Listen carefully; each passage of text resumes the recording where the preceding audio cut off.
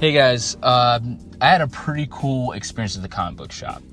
Uh, one, one of the main things is that one of the uh, shops that I go to is called Nan's Comics and Toys, and it is the stereotype of a comic book shop um, in a good way, in a good way, because um, the guys working there are you can they're older, right?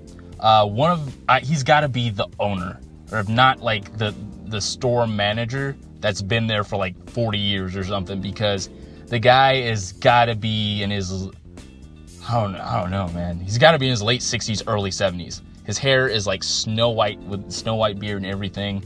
Uh, I saw him and he was wearing like a Nexus t-shirt, which if you haven't heard of Nexus before, check out one of my videos. It's a dope comic from the 80s.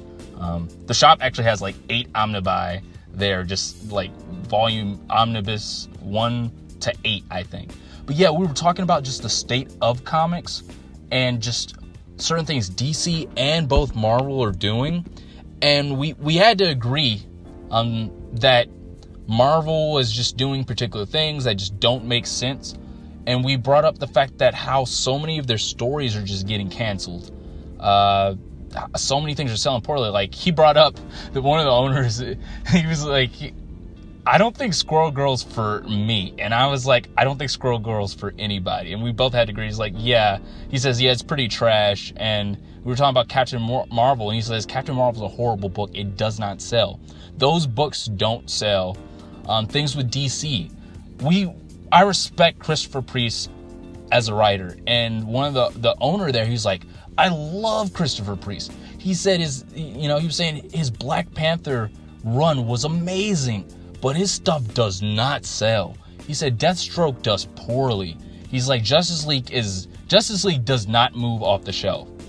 And we, we, we had to just just be honest about how DC isn't using particular characters or bringing them back and how Marvel frankly we spent a good time saying how Marvel just hates marriages and relationships uh, he, he made a point, you know, he was saying, yeah, man, he says there's, they don't want to use it because there's apparently no drama or nothing you can do with people in marriages. And he was saying, he's like, man, I've been married three times. Believe me, I've dealt with plenty of drama in my marriages, man. He says they just don't know how to write these things. And I, I brought up the fact how Image had really cool art. And they said, yeah, but art's important, but does it have a good story? How are the characters? Uh, you know, and we, we were talking about this, and it was actually kind of funny because when me, uh, the store manager, and uh, I think the owner there, or you know, senior owner manager or whatever, uh, who's also really cool. We were talking, and one of the guys is kind of like looking through books on the bookshelf uh, over near the trades, and is kind of like peeking his head out, you know, periodically peeking his head out, and then he's like kind of walked up, was looking at some books, and then walked up and we were standing in the front of the counter and it was a pretty chill day. There was like a couple people in there. He's and we were just like, "Oh, sorry, did we, are we interrupting something?" He's like, "Nah, man, I just want to listen to what y'all are talking about." So it was, it's cool to have conversations like that in a, in a shop. And we were saying how She-Hulk, because I got the John Byrne She-Hulk uh, trade, and we, you know the whole collection of all most of John Byrne's stuff. Some of them were missing because you know John Byrne, uh, you know whatever John Byrne's John Byrne. So we were talking about how She-Hulk's not the same, and how we were saying that they just get people that don't understand the characters and when the books get canceled they just you know it hurts the comic book shops we were talking about how there's a lack of cyberpunk stuff period and the guy looked at me and he started thinking he's like well there's uh he says well there's this comic and i was like yeah and there was this comic. I think there was some in the 90s. I can't remember the names of them. And I said, yeah, exactly. That's that's how bad it is. You actually have to really try to count. You could probably count on one hand if you're excluding manga. And he's like, yeah, you got a good point. And we were just saying how X-Men is just not been the same. And we were talking about like how cool it would be if they brought back Power Girl and did She-Hulk right and certain characters. And one of the, the, the store manager, uh, who's like, you know, OG, right? He's an OG comic book reader with his Nexus t shirt. He was like, but would the characters be the same?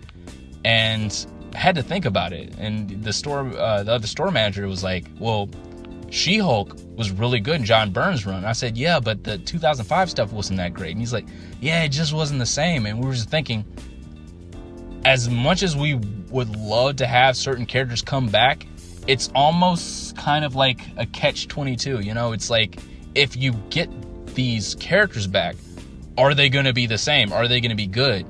Um, Ta-Nehisi Coates makes retailers nervous. There are books that they just said just don't sh- sell. A lot of Marvel stuff just not selling that they just don't order anymore.